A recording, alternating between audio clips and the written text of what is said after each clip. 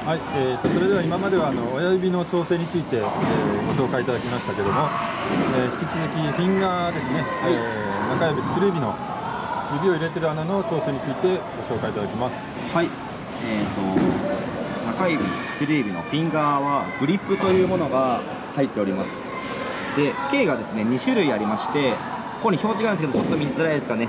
えーと8分の7の K のレディースグリップっていうサイズと32分の31というレギュラーグリップという2種類の径があります。こちらお間違いいただきますとあのはまはまらなかったりとかですね。あの取る時にもあのサイズが違いますと難しいのでこちら2種類あるのを確認してください。はい。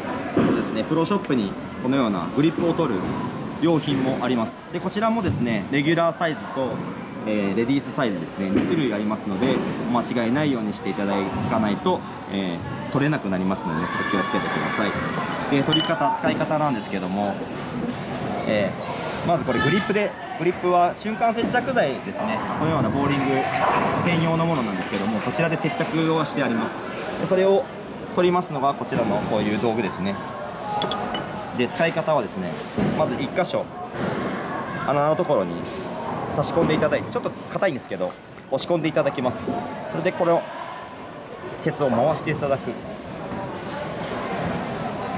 はいひねっていただきますとついてるボンドが剥がれましてですね。はいグリップがこのように取れます。